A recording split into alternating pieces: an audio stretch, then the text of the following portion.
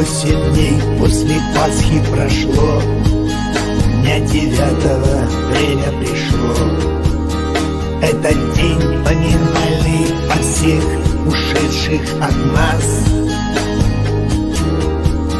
Кто у Бога на небесах, Кто всегда живет в наших сердцах, Кого так не хватает нам в этой жизни сейчас.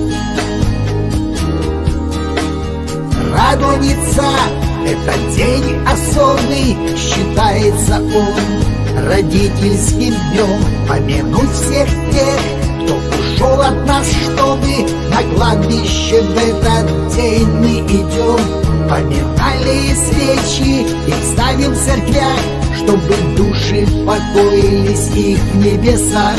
И в молитвах своих поминаем их, сердцу близких всех и родных. День девятый